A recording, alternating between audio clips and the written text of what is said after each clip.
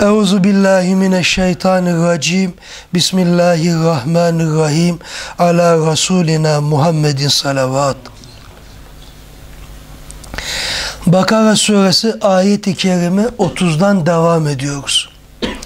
Estaizu billah ve iz gale bir vakit dedi Rabbuke Rabbin dedi lil melaiketi meleklere bir vakit Rabbin meleklere dedi ki inni muhakkak ki ben cailun kılacağım yaratacağım. Buradaki manası.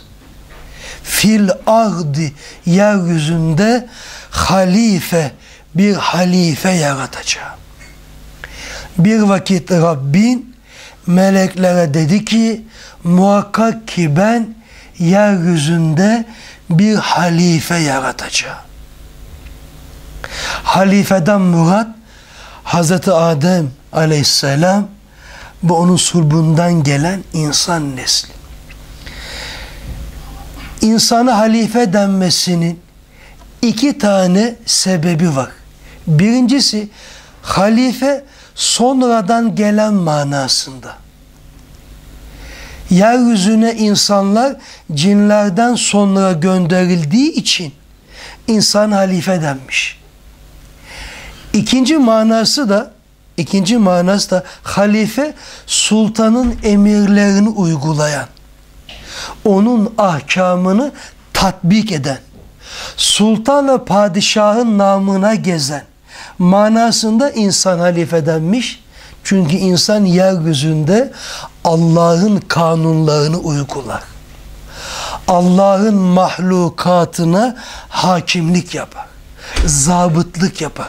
Bu sebeple insanı halife denmiş. Cenab-ı Hak bu ayet-i kerimesiyle meleklere dedi ki ben bir halife yaratacağım.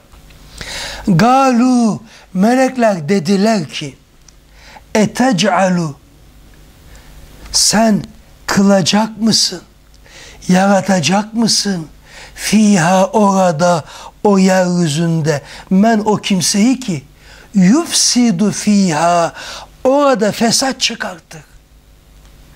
Ve yesfikud dima ve kanları döker. Melekler böyle dedi. Ey Rabbimiz, ey ilahımız, ey Allah'ımız.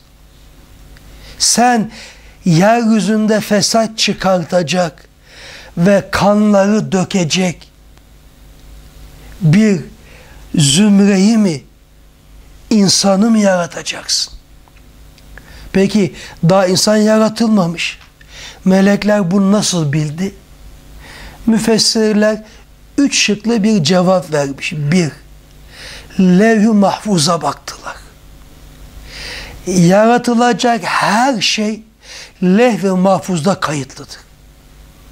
Onlar lev mahfuza bakıp insanın istikbalde kan dökeceğini, fesat çıkartacağını bildiler, öğrendiler ve Cenab-ı Hakk'a dediler ki Ya Rab, yeryüzünde fesat çıkartacak ve kanları dökecek insanı mı yaratacaksın? İkinci ihtimal, Cenab-ı Hak yaratacağı halifenin yani Adem oğlunun yeryüzüne fesat çıkartacağını ve kan dökeceğini onlara ilhamla bildirdi. Allah'ın bildirmesiyle bildiler. Üçüncü ihtimal de insanlardan önce yeryüzünde cinler yaşıyordu. Cinlerin yaratılması insan oğlundan önceydi ve cinler yeryüzünde fesat çıkartmıştı ve kan dökmüştü. Melekler insan olduğunu cinlere kıyas ettiler. İrade sahibi olduğunu bildiklerinden Ya Rab cinlerin yaptığını yapacak. Kan dökecek, fesat çıkartacak. Sen bir halife mi yaratacaksın? Ve nahnu melekler devam ediyor. Halbuki biz nusebbihu tesbih ediyoruz. Bihamdike senin hamdinle yani senin hamdine mültebis olduğumuz halde sana şükredici, hamd edici, seni sena edici olduğumuz halde sana karşı hamd eden, hamid elbisesini giymiş, bu elbiseyi bürünmüş bir halde seni tesbih ediyoruz. Tesbih etmek Cenab-ı Hakk'ı cümle kusurlardan, eksikliklerden tenzih etmek, uzak olduğunu, beri olduğunu beyan etmek. Yani Subhanallah demek. Subhaneke demek. Ve nukaddisu lek ve biz seni takdis ediyoruz. Takdis etmek de yine tesbihe yakın bir mana. Cenab-ı Hakk'ın bütün kusurlu sıfatlardan uzak olduğunu beyan edip Allah'ın bütün kemal sıfatlarla muttasıf olduğunu beyan etmek. Yani melekler dediler ki ya Rab biz tesbih vazifesini yapıyoruz. Takdis vazifesini yapıyoruz. Subhanallah diyoruz. Senin hamdına mültebisiz. Elhamdülillah diyoruz. Allahu Ekber diyoruz. Senin şanına yakışacak kelimelerle sana karşı senada bulunuyoruz. Tesbihte bulunuyoruz. Tazimde bulunuyoruz.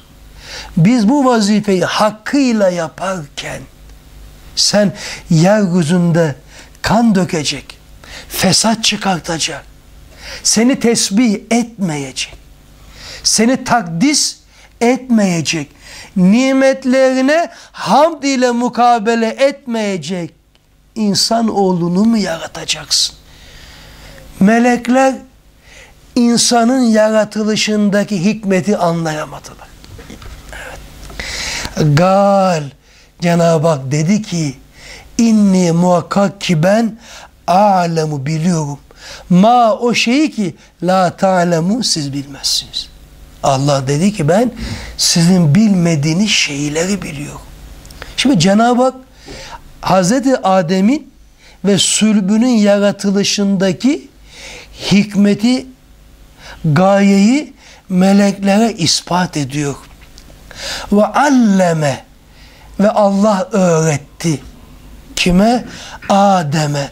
Adem aleyhisselama el esma isimleri küllaha onun tamamı yani bütün eşyaların isimlerini Hazreti Allah Hazreti Adem'e öğretti. İmam Nesefi, İmam Alusu diyor ki kıyamete kadar icat edilecek ne kadar eşya varsa ve o eşya kaç dilde kullanılıyorsa Cenab-ı Hak bütün eşyaları ve bütün dilleri öğretti.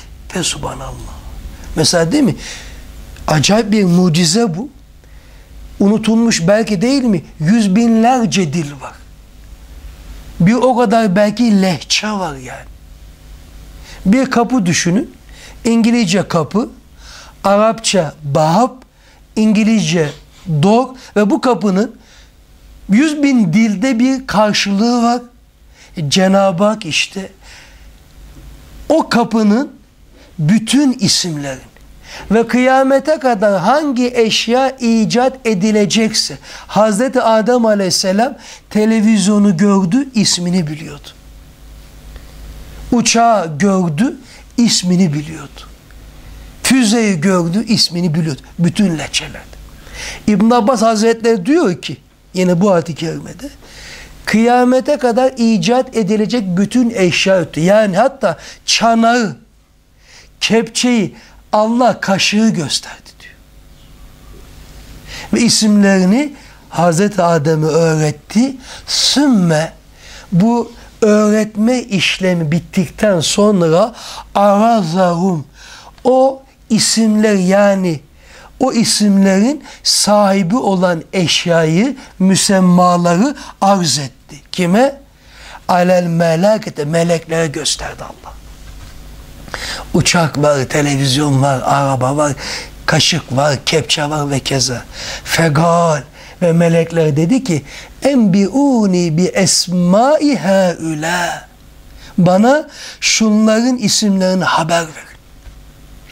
Söyleyin bakalım şu eşyanın adı nedir? Bunun adı nedir? Şunun adı nedir? in kuntum sadıgin eğer siz sadıksanız. Yani Adem Aleyhisselam'ın ve evlatlarının yaratılışının hikmetsiz olduğu davasında sadıksanız. Onlar dediler ya Rab niçin yaratıyorsun? E kan dökecek. Fesat çıkartacak. Biz seni tesbih ediyoruz. Hamd ediyoruz, takdis ediyoruz. Adem oğluna ne gerek var? Hazreti Adem'e ne gerek var? Halife biziz. Cenab-ı Hak da dedi ki eğer bu davada sadıksanız hadi bakalım. Şu eşyaların isimlerini bana haber verin. Galu. Melekler dediler ki Subhanek. Subhanek. Biz seni tesbih ederiz. La ilme lana. Bize ait bir ilim yoktur. Bizim ilmimiz, bilgimiz yoktur. İlla ma. Ancak o şeyi biliriz ki allemtena sen bizi öğrettin. Ya Rab seni tesbih ederiz. Tenzih ederiz. Bizim senin bize öğretmiş olduğun bilgiden başka bir bilgimiz yoktu. Sen de bu eşyaların isimlerini bize öğretmedin. Biz bunları tanımıyoruz. İsimlerini bilmiyoruz. İnneke muhakkak ki sen ey melekler ente sen el alim alimsin. Her şeyi en iyi bilensin. El hakim hakimsin.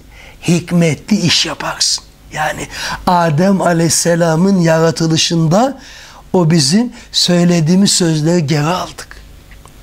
Sen hakimsin. Hangi işi yaparsan yap, bizim bilmediğimiz nice hikmetleri takip edersin. Gal Allah dedi ki ya Adem ey Adem döndü Adem Embihum şu meleklere haber ver. Neyi? Bir esmaihim şu eşyaların isimleri. Cenab-ı Hak öğretti Adem Aleyhisselam'a. Hem de nasıl öğretti? Bütün dillerle, bütün lügatlarla. Fesubhanallah. İlme bakın kardeşlerim. İlme bakın yani. Ya. Bu nasıl bir ilim? Bu nasıl bir ilim? Üstad Hazretleri diyor ki şu konuştuğumuz diller değil mi? Arapça, Türkçe, İngilizce Adem Aleyhisselam'a eşyanın isimlerinin talim edilmesi, öğretilmesinin bir neticesidir. Ve o mucizeye işarettir. Yeryüzünde ne kadar dil konuşulmuşsa ve konuşulacaksa Adem Aleyhisselam bütün bu dilleri hem de o zamanlarda konuşan insanların sığ lügatlarıyla değil, kıyamete kadar icat edilecek bütün lügatlarla biliyordu. Ve dedi ki Rabbimiz, ey Adem, onlara bu eşyaların isimlerini haber ver. فَلَمَّا اَنْبَأَهُمْ بِاَسْمَائِهِمْ Her ne zaman ki Adem Aleyhisselam o eşyaların isimlerini o meleklere haber verdi. Gal Allah dedi ki meleklere elem egul lekum ben size demedim mi? Ne demedim mi? İnni a'lemu gaybes semavati vel ard. Muhakkak ki ben semavatın ve arzın gaybını bilinmeyenini bilirim. Ve alem ve ben yine bilirim ma o şeyi ki tubdune siz açıklıyorsunuz ve ma o şey küntum oldunuz tektumun saklıyorsunuz. Allah dedi ki meleklere ben size demedim mi? Ben semavatın ve arzın en gizli olan şeylerini bilirim. Ben sizin açıkladığınızı, onların açıkladığı şey biraz evvel okuduğumuz Ya Rab biz seni tesbih ederken tenzih ederken sen fesat çıkartacak ve kan dökecek birisini mi yaratacak sözüydü. Ve ma kuntum tektumun bir de gizledikleri var. Gizledikleri de şuydu. Allah bizden daha sevgili olan mahluklar mı yaratacak? Meleklerin gönlünden bu geçmişti. Evet. Melekler Allah en sevgili olmak istiyor. Allah bizden daha çok seveceği bir mahluk mu yaratak bir mahluk mu yaratacak diye düşündüler. Cenab-ı Hak dedi ki ben sizin açıkladığınızı, bana söylediklerinizi ve bana söylemeyip gizlediklerinizi bilirim. Bakın şimdi kardeşler. Alim olmak böyle bir şey. Alim olmak farklı bir şey. Bu ayeti kerimeyi biz yüz değil bin defa okusak İmam Nesefi Hazretlerinin şu ayeti kerimeyi okuduğunda ulaştığı şu bilgiye ulaşamayız. Alim olmak çünkü bak böyle bir şey. İmam Nesefi Hazretleri bakın şu ayeti kerimeden bir istimbat yapmış. Diyor ki velev ki lugat ilmi olsun. Lugat ilmi yani lugat ilmi kelime ezberlemek. Nafile ibadetten evladır diyor. Velev ki lugat ilmi olsun. Ve ispat ediyor. Diyor ki Cenab-ı Hak Hazreti Adem'in meleklere olan üstünlüğünü ispat ederken lugat ilmini kullandı. Melekler Hazreti Adem'den daha fazla ibadet etmelerini, tesbih etmelerini, tekbir etmelerine, hamd etmelerine rağmen lugat ilmi bakımından kendilerinden üstü olan Hazreti Adem'e secde etmeleri emredildi. Bu ibadetin ilme secdesidir. İmam Nesevi devam ediyor. Eğer Allah'ın katında ilimden daha kıymetli bir sıfat olsaydı, Cenab-ı Hak Hazreti Adem'in meleklere olan üstünlüğünü o sıfatla ispat ederdi. Demek ki Allah katında en makbul sıfat ilimdir diyor İmam Nesefi Hazretleri. Bakın nasıl mana çıkardı. Ve devam ediyor. Sadece kelimelerin, eşyaların isimlerini ezberlemek. Bu bile nafile ibadetten evla olursa ve bu ilimle bile melekler geçilebilirse siz fıkhı, akaidi, tefsiri artık bir düşünün ve buna kıyas edin. Ve subhanallah. Ve subhanallah. Demek ki bir Müslümanın ilim peşinde koşmaması düşünülemez. İlimlerin dedim padişahı iman ilmidir, Kur'an ilmidir. Kardeşlerim burada kalalım. Bir daha toplu bir meal yapalım. Dersimizi tamamlayalım. Bir vakit Rabbin meleklere dedi ki ben yeryüzünde bir halife yaratacağım. Melekler dediler ki yeryüzünde fesat çıkartacak ve orada kanlar dökecek birisini mi yaratacaksın? Halbuki biz seni hamdınla mültebis bir halde tesbih ediyoruz ve seni takdis ediyoruz. Allah dedi ki muhakkak ki ben sizin bilmediklerinizi bilirim. Ve Allah Adem aleyhisselama bütün eşyanın isimlerini öğretti. Sonra o eşyayı meleklere arz etti. Ve dedi ki ey meleklerim eğer davanızda sadıksanız şu eşyanın isimlerini bana haber ver. Melekler dediler ki Subhaneke la ilme lana. Seni tesbih ederiz. Bizim hiçbir ilmimiz, bilgimiz yoktur. Biz ancak senin bize bildirdiğini biliriz. Şüphesiz sen alim olansın ve hakim olansın. Allah dedi ey Adem şu eşyaların isimlerini meleklere haber ver. Felemma enbe'ehum ne zaman ki Hazreti Adem eşyaların isimlerini onlara haber verdi. Allah dedi ki onlara ben size demedim mi? Ben semavatın ve arzın gaybını bilirim. Ve muhakkak ki ben sizin açıkladığınızı ve gizlediklerinizi bilirim.